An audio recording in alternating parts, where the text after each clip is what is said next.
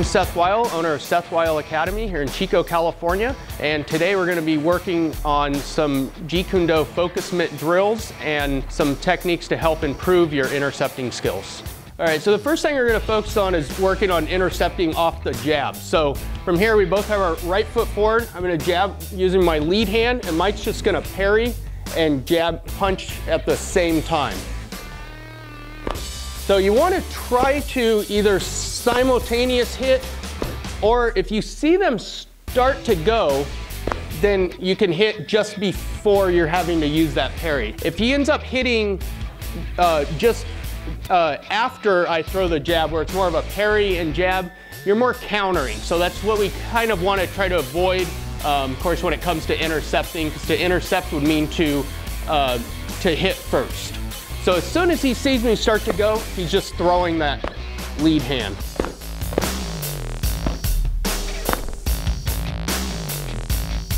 So now another thing that's important though too is to always make sure you're getting your head out of the way. So now when Mike's doing it, I'm gonna have him just sort of slightly move his head because you don't want to just rely on your parry hand. Um, your parry hand is more of a guide, but you want to rely a little bit more on that head moving out of the way from the punch. So that punch is going directly over his shoulder.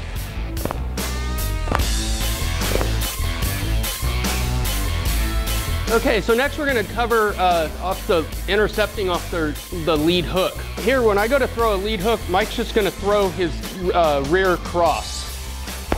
So notice how when he throws that cross, that shoulder pops up, which will protect his jawline um, if the punch ends up uh, getting in. As soon as he sees it coming around, he's just gonna automatically just throw that punch coming right down the middle.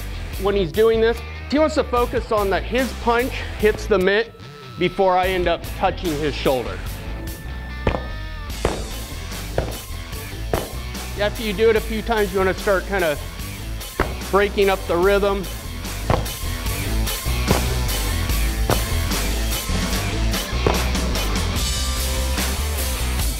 So now we're going to work on to the, the rear hand. If I throw a punch, uh, again, we both have our right side forward. I'm throwing a, a, hook with my rear. Mike's gonna throw a lead hook and uh, basically beat me to it. So we're going kind of hook for hook.